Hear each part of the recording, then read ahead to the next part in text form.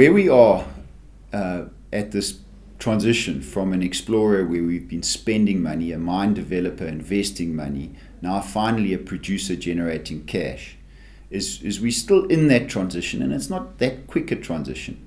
So Vanggatfontein is generating cash. It, uh, it needs to service its project finance.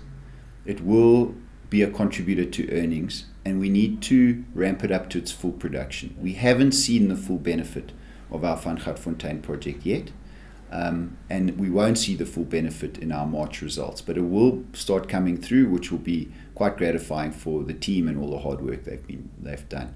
Our LME acquisition took an extraordinarily long time to get full regulatory approvals. As a consequence, the business turned around, became cash flow positive, was generating cash, but we couldn't account for it until the middle of December.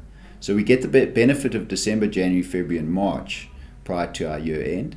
Um, and of course, the business that the take on balance sheet of that business actually has cash on the balance sheet, um, which which wouldn't have been the case some months earlier while we were investing and turning it around.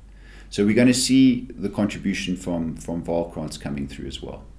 The there are some accounting business combination accounting requirements and some uh, revaluation of some of the assets as a consequence.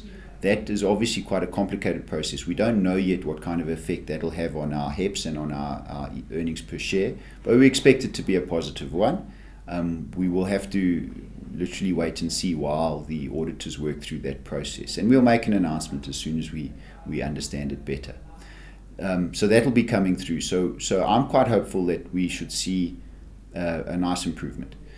Going forward, it depends really on the success of the ramp up at Vanggatfontein.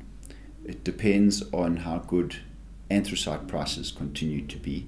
Um, they are very good at the moment. I anticipate uh, um, as soon as smelters are turned on again in South Africa that there should be further upward price pressure.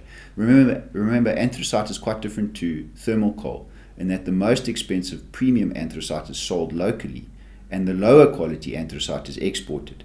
And it's that local market that is desperately trying to find alternatives to imported coking coal, and anthracite is, is stepping up to fill that role. So I'm quite hopeful that with a fully ramped up, fully bedded down, steady state from Gautfontein and good anthracite prices, we should see quite an improvement off our existing operations. What we then need to do is bring uh, into into production as soon as possible, and we've had some experience in bringing operations into production very quickly. So we need to do that. Um, and then we need to demonstrate value both there at Braakfontein and at Sterkfontein in terms of our, our pipeline. I don't believe that um, the market is, is recognizing any value in Braakfontein and Sterkfontein. And in fact, some analysts who cover us have said as much, is that they're not prepared to um, uh, they're not prepared to attribute any value to Braakfontein and Sterkfontein until they have more information. We do hope uh, with our results coming out in May that we will be able to then publish a full resource statement on Braakfontein and, and analysts will be able to start taking that into account. So I think in the short term, there's some interesting things happening. Longer term, we've got to build mines to increase our earnings, um, and, and, and that's the plan.